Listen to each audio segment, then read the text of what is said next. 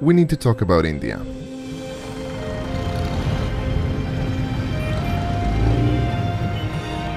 There is no denying that India is a unique country, a dream destination for almost every photographer. In fact, most photographers that I look up to traveled to India and created amazing images. But it was for that exact reason that, for a very long time, I chose not to go there. I guess it felt like following someone else's footsteps.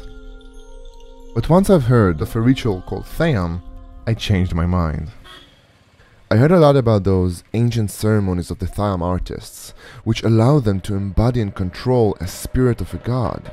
So I decided that the best way to start this project was to go and photograph a few of them.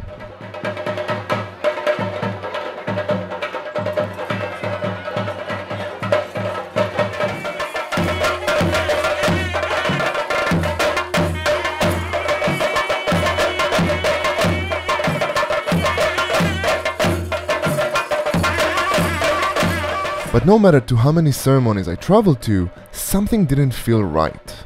I can't really put my finger on it, but I always had this very strong touristic feeling from the ceremonies I found. This was a clear warning sign. What I needed was a local guide, someone that can show us around and lead us away from these touristic attractions. And this is how we met Suresh. He liked our idea and decided to help us to find a better story. First, he took us away from the temples.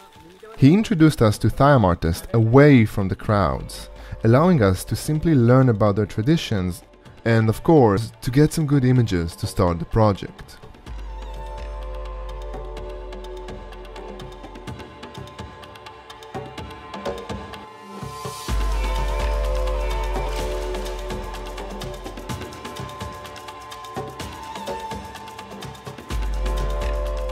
Things were starting to look better for us.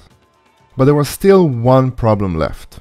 I still needed to photograph a Theyyam ceremony for my story.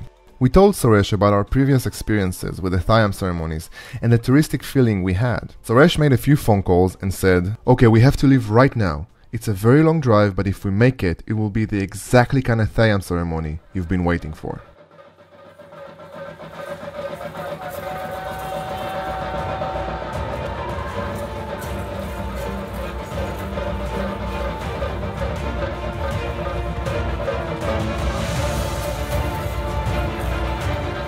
When you do photography projects, you're always dependent on people like Suresh, people who care and are passionate about your project as much as you are.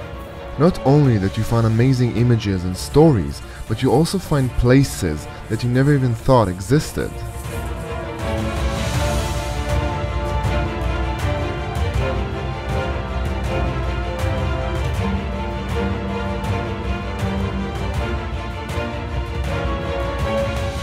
And while I can't really say that I completely changed my mind about India, that ceremony was definitely an impressive beginning of something new.